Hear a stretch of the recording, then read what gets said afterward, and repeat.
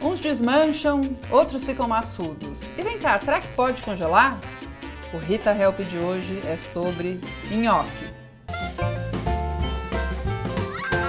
Olha, vou começar com uma pergunta bem ampla.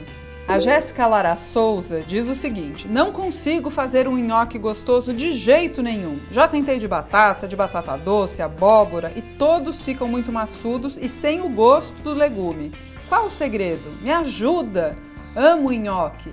Então somos duas, Jéssica Lara Souza. Mas eu vou começar falando do básico que é de batata, porque as receitas são diferentes mesmo. No panelinha você encontra nhoque de ricota, de grão de bico, de batata doce, de banana. Hum, nhoque de banana, minha filha. Mas vamos voltar para o nhoque de batata.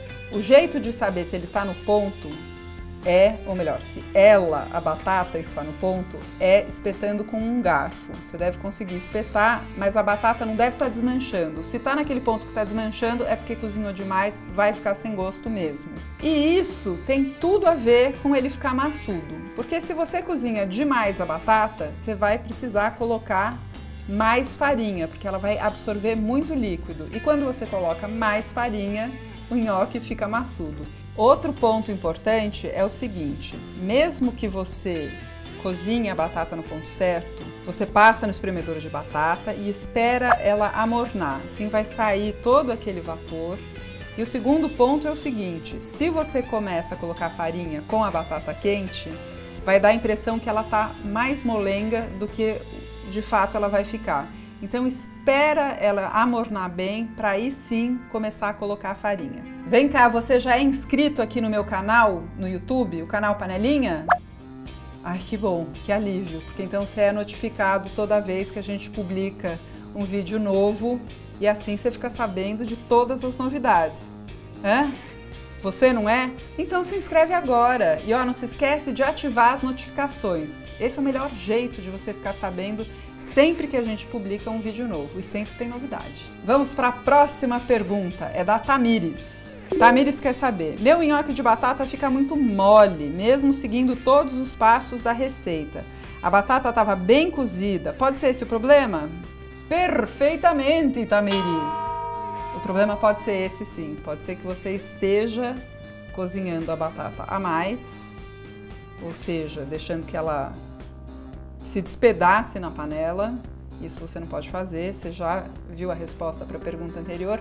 Mas nesse caso pode ser que você esteja usando farinha a menos. Será que é isso? Para você saber assim qual o ponto certo do nhoque, você precisa lavar as mãos, você misturou bem lá a massa, lava as mãos, seca muito bem, tem que secar muito bem.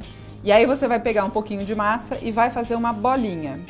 Se ela não grudar na mão, é porque está no ponto certo. Se ainda estiver assim grudando, aí você pode pôr um pouco mais de farinha. Tamires, eu tenho certeza que na próxima vez que você fizer o nhoque, ele vai ficar no ponto certo. Aí você pode fotografar e publicar com a hashtag Receita Panelinha. A gente por aqui adora ver as nossas receitas espalhadas pelas mesas desse Brasilzão.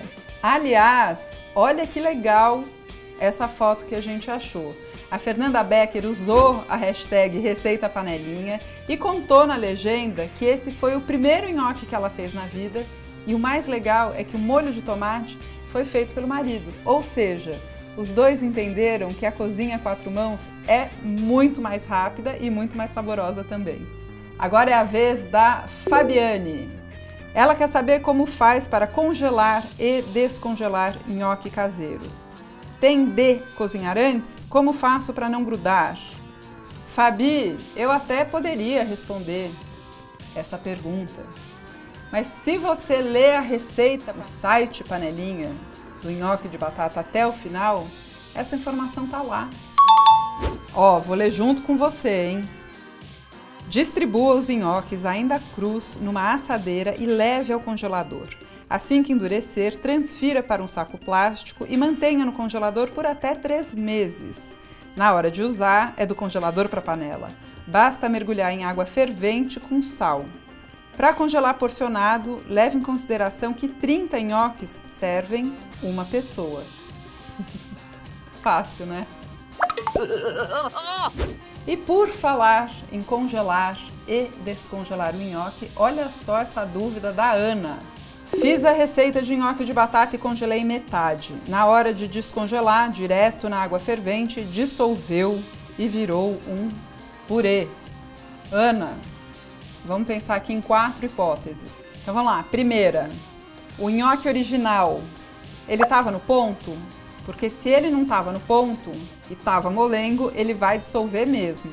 Segundo ponto, você usou o bom e velho espremedor de batatas? É importante, sabe por quê? Se você usar aquele que você amassa assim, que parece uma molinha e amassa, ou amassar no garfo, ele vai ficar com pedacinhos. E esses pedacinhos fazem com que o nhoque se solte na panela. Cada bolinho tem que ter a farinha bem misturada com a batata que vai estar tá bem amassadinha. Se tiver pedacinho, ele desmancha. Terceiro ponto, na hora de congelar, você espalhou direitinho na assadeira e aí levou ao congelador? Porque se você congelar já num saco plástico, ele vai estar tá uma maçaroca e vai ter um volume muito grande para descongelar na água fervente. E aí ele vai levar mais tempo e vai cozinhar mais e vai despedaçar. Por último, quarto ponto, o saquinho para onde você transferiu o nhoque já congelado estava bem fechado mesmo e estava sem ar? Porque é o seguinte, se o nhoque começar a formar aqueles cristalzinhos, aquilo é água. Então o que acontece é que ele vai desmanchar mesmo na hora de cozinhar. Encontrou um obstáculo na cozinha? Passou algum perrengue como esse da Ana? Então escreva para mim mas não esqueça de marcar a hashtag Rita. Help! Mas tem que ser tudo junto. É jogo da velha, Rita Help. Não adianta escrever Rita, pelo amor de Deus, pelo amor de Deus, meus filhinhos, me responde, me help, me ajuda, porque aí você não está indexando a sua pergunta. Você precisa colocar a hashtag RitaHelp e assim a gente acha a sua pergunta e eu venho aqui e respondo. Agora, antes de me despedir, eu quero fazer uma sugestão para você que, como eu, gosta de nhoque. Não deixe de provar esse nhoque de batata, bem tradicional, com molho de tomate, porém ele é gratinado com aquele queijo, a burrata. Hum, gente, é bom demais. Até semana que vem.